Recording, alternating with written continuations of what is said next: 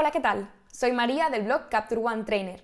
Hoy tenemos un nuevo vídeo de revelado desde el RAW para comenzar el año y si habéis estado siguiendo las noticias sabréis que ha pasado por Madrid la borrasca Filomena y nos ha dejado imágenes bastante espectaculares de todo cubierto de nieve como prácticamente nunca se había visto. Así que he aprovechado para salir a hacer unas fotos y me parecía pues interesante poder ver un revelado de un paisaje nevado, que lo tengo ya por aquí preparado. Este es el resultado que queremos conseguir, ahora os voy a enseñar también el antes para que lo veáis. Este es el punto de partida del que venimos, así que vamos a ver cómo llegar hasta aquí. Vamos a ello. Bueno, vamos a empezar como siempre restableciendo los ajustes desde este botón de aquí. Y partimos desde el archivo RAW. Fijaos que tenemos aquí un RAW de Fujifilm. Esto lo recalco porque es bastante importante de cara al revelado que vamos a hacer. Si veis que tenemos aquí ya las características base, tenemos el perfil de la cámara con la que se ha disparado, con una Fuji XS10, y si recordamos, aquí en las curvas, además de las curvas estándar de Capture One que están aquí, podremos encontrar todas las curvas de simulaciones de película originales de Fuji. Veis que tenemos varios puntos de partida para escoger, algunos en blanco y negro, otros en color. Este revelado, como habéis visto, he decidido hacerlo en color. Y la simulación que he cogido es la Classic Negative. La verdad es que me gustan muchísimo muchas de estas simulaciones de película y esta me parecía que iba pues perfecta para este paisaje invernal. Si ya veis que aplicando solamente este ajuste, la imagen ya cambia muchísimo. Si vemos el antes y el después, quizás así lo veáis mejor, aquí tenemos una imagen mucho más cálida y con un color que tira mucho más a magentas.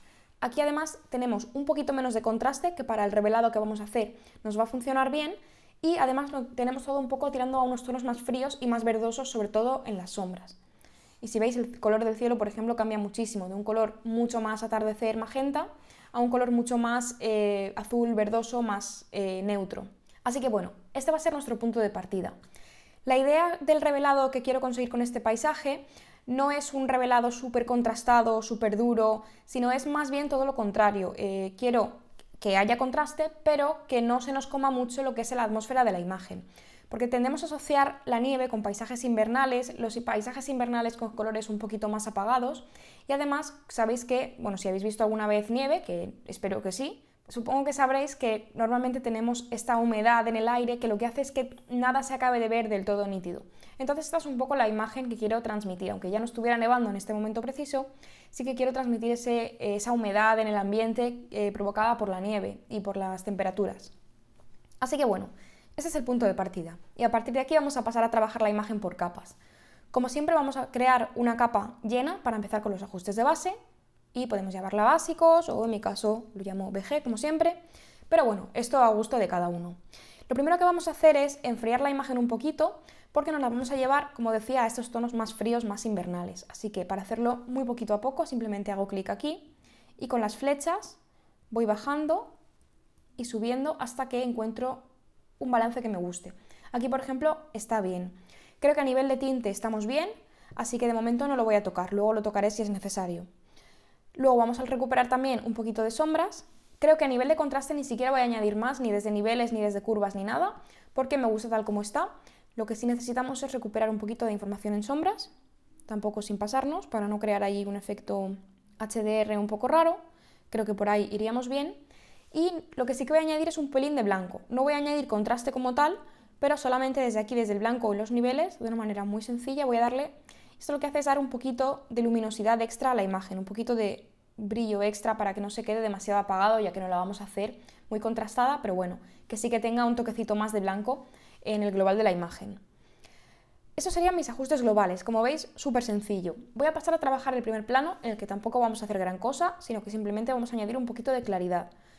Si quisiéramos hacerlo todavía más sencillo, voy a empezar desde una capa vacía. Si quisiéramos hacerlo todavía más sencillo, podríamos aplicar claridad directamente a toda la imagen. En mi caso yo lo voy a hacer por separado para el cielo y el primer plano, porque así puedo controlar mejor en qué lugar de la imagen voy a aplicar más claridad, porque sí que voy a querer aplicar un poquito más en el cielo para que resalten estos contrastes entre las nubes que se van intuyendo aquí pero no están muy claras, pero si le diera demasiada claridad aquí como que perderíamos este efecto que estamos buscando esta capa vacía que he creado, la voy a llamar primer plano y simplemente con una máscara de degradado lineal muy sencilla voy a dibujarla aquí, vamos a darle la M para que veamos exactamente lo que estamos dibujando, aquí estamos bien, y ahora simplemente voy a darle, como decía, un pelín de claridad en modo natural. Creo que alrededor de un 10 va a estar bien, no le voy a dar más, luego pues podemos incluso añadir un poco más o bajarle opacidad a la capa si creemos que nos hemos pasado. Y ya hecho esto voy a pasar a trabajar con el cielo. Para el cielo voy a hacer exactamente lo mismo. Voy a crear una capa vacía y con simplemente una máscara de degradado voy a dibujarlo porque vemos que aquí tenemos un horizonte súper limpio en el que prácticamente no tenemos ninguna irregularidad, así que por no complicarnos lo vamos a hacer así. Lo que sí que voy a hacer es darle un nombre a la capa para luego saber exactamente dónde está todo. Y aquí en el cielo es que voy a aplicar más contraste. Y esto lo voy a hacer desde las curvas. Eh, de acuerdo a lo que yo he estado viendo editando paisajes, eh, las curvas RGB son una muy buena manera de sacar a relucir estos contrastes entre las nubes. ¿Por qué? Porque tenemos mucho más control que con cualquiera de las otras herramientas. Entonces, pues podemos aumentar el brillo, podemos aumentar el contraste en medios tonos también. Y aquí, por ejemplo, veis que simplemente con este ajuste ya hemos conseguido que estas nubes empiecen a resaltar bastante.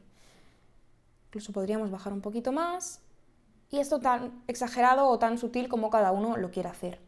Lo que sí que veo es que al trabajar desde la curva RGB, lo podríamos haber hecho también desde la curva Luma, nos estamos añadiendo también saturación, que creo que en este caso no va mal del todo, pero quizás sea un poco demasiado, así que voy a bajar simplemente desde aquí, desde el deslizador de saturación, unos 15 puntos, más o menos, para que esté más neutro y más en línea con el resto de la imagen, incluso creo que un poquito más, más o menos por ahí.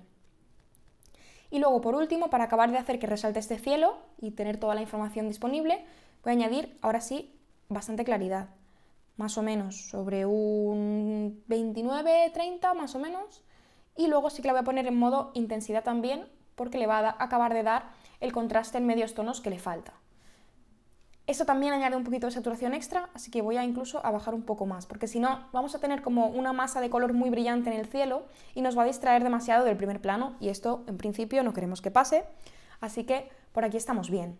Si vamos viendo el antes y el después, veis que la imagen ya prácticamente está en su sitio y solo faltan dos toques muy muy sencillos para acabarla. Voy a añadir una capa de color y voy a trabajar ahora con el balance de color. Como siempre le vamos a dar un nombre para no perdernos y una vez creada esta capa, como podéis ver es una capa llena que ocupa toda la imagen, mismo tipo de capa que he usado para el fondo. Y desde aquí, desde la herramienta balance de color, voy a dar un tinte más frío en sombras y un tinte más cálido en altas luces, que es una cosa que si me vais siguiendo más o menos mis vídeos y mi manera de revelar, siempre suelo hacer porque me da la sensación de que aporta un aspecto muy natural. En este caso, como tenemos en las sombras prácticamente eh, todos estos árboles y todas todos estos muros, lo que voy a hacer no es darle un tinte muy azulado, porque entonces se nos va a quedar la imagen como muy monocroma, porque también tenemos bastante azul en el cielo. Lo que vamos a hacer es darle un tinte un poquito más verdoso. Y creo que además a esta simulación de película le va bien este tipo de tinte más tirando hacia verdes y como que dé la sensación un poco eso de, de película fotográfica, ¿no? Algo por ahí. Y ahora en las luces voy a añadir un tono un poco más tirando hacia naranja y esto creo que va a acabar de darle un toque bastante interesante.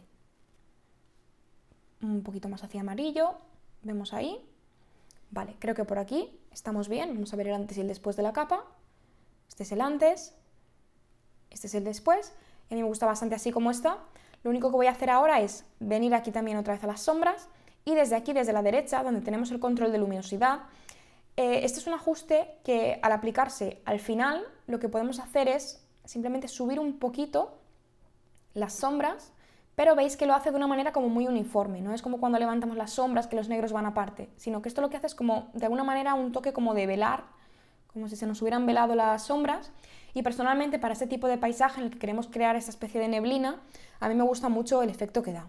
Y si quisiéramos exagerarlo un poquito más, incluso podríamos venirnos aquí a la herramienta de niveles y sin eh, utilizar el nivel de salida, sino el de entrada, el que está aquí arriba, veis cómo el efecto se exagera muchísimo. En este caso esto es demasiado, pero quizás pues, un punto, por ejemplo, para hacerlo un poquito más exagerado. Y bueno, ya estaríamos casi, lo único que faltaría sería añadir un pequeño viñeteado para crear un poco de profundidad y centrar la atención en el pueblo nevado. Esto de una manera muy sencilla, con una nueva capa, también esta capa es una capa vacía, la voy a llamar viñeta, y esto lo vamos a hacer con un degradado, en este caso radial. De esta manera vamos a poder dibujar exactamente el tipo de viñeteado y el tamaño del viñeteado que queremos. Apretamos la M, voy a hacer un viñeteado muy muy fundidito, muy muy sutil y lo vamos a aplicar más o menos por ahí. Si lo veis no está del todo centrado porque me interesa que afecte más al cielo que al primer plano. Entonces quizás podemos hacerlo un poco por ahí.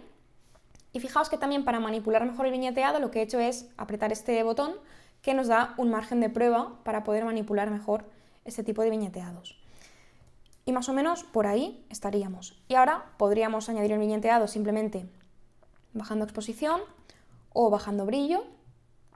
Como podéis ver, ambas cosas funcionan bien, pero como estamos con este rollo así como velando colores y velando los negros, pues lo que vamos a hacer es velar un poquito los blancos solamente en esta zona de la imagen. Como veis es un ajuste bastante sutil, así que tenemos que usar valores un poquito más altos. Y sin embargo veis que funciona muy bien con la imagen. Y este sería nuestro resultado final.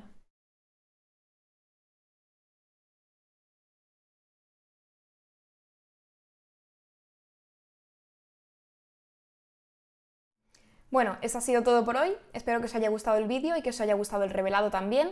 Y para los que estuvisteis por Madrid durante el temporal, espero que no os pillara muy fuerte, que no os causara grandes problemas y espero también que tuvierais un poco de tiempo de salir a disfrutar y hacer algunas fotos. Yo desde luego que lo hice, como podéis ver, y me lo pasé muy bien. Si os ha gustado este vídeo, os recuerdo que tengo vídeos parecidos en el canal, así que echadle un vistazo. Y también, si estáis interesados en aprender más y más profundamente sobre Capture One, os recuerdo que tengo un blog, captureonetrainer.com, os dejo el enlace abajo en la descripción y podréis ver una guía completa desde cero para aprender a utilizar Capture One todo en castellano. Nos vemos en el próximo vídeo. ¡Chao!